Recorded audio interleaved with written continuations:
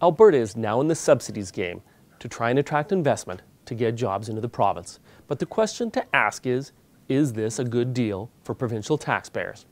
That's what we're about to find out as the Notley government moves ahead with a plan to provide incentives to two new large petrochemical facilities that will be built in the Edmonton area.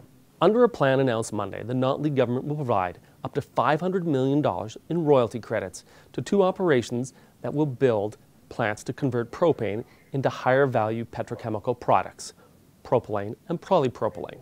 These are used to create products such as plastics and will increase the value of the propane by about seven times. The incentives will create about 245 permanent jobs, as well as about 4,000 jobs during the construction phase. The government says the incentives are needed because of the higher building costs in the province, as well as the fact that incentives are offered in other jurisdictions on the U.S. Gulf Coast, such as in Louisiana or Texas. Alberta is striving to create employment and diversify the economy, but is the price tag, $500 million, worth 245 jobs?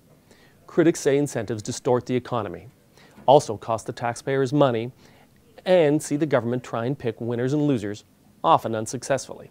Alberta has a long history of such efforts dating back to Peter Lougheed in the 1970s offering incentives successfully to stimulate the ethane sector. But there's also a long track record of losses, such as investments that were made in companies like Magcan, Gainers, and NovAtel. The one thing we do know, however, is the cold, hard trade-off that now faces Albertans. We're trading subsidies to create jobs. For Inside Business, I'm Chris Varcoe.